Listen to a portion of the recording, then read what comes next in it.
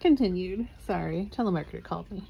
So anyway, I have the second one for me play and the 3D print Etsy shop person made a misprint and gave it to me as well. It was missing some of the rainbow colors, but that's fine, especially since I make my own. I'm totally going to use that. Yay, very exciting. There's one more thing to show. And it's just kind of messy for now, but for each of the haunts, and I don't have enough little cards yet, I'll get there, I wrote out what tokens you need. And I didn't realize I was looking at a resource to double check mine. Um, first edition I don't own, but some of these are first edition as well. So I just kind of wrote on it in the corner if it's first or second. So like how many tokens, what colors, whatever do you need? Do you need the numbers ones? It's cool. So these I'll eventually have just in a deck box. And I did the sleeve to make it more um, tactile so I can pick it up.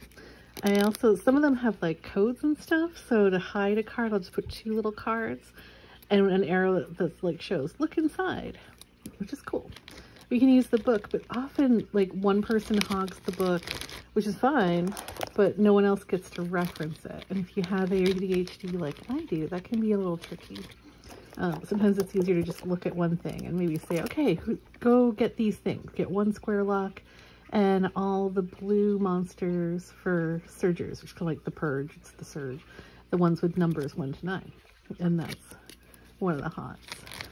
Yay! Very exciting. I'm so pumped. I even wrote like paper and pen. For how many? If it's the number of players, I use X for that. And I even national ones. Extra little marker things from the other games, including just like bingo chip markers we can use. This one you need sanity roll tokens for the number of players, and you can use a holy symbol token. I'm always all about using the extra optional token, because why not? It's too hard to remember stuff. Just have fun, and then your energy can go to taunting your opponents. Way more fun. Yay! Very exciting. Alright, cool. So once I finish this little project, that'll be in a nice deck boxy kind of situation, or just like banded and put here. Very exciting. Yay, Betrayal. One of the best games in the universe.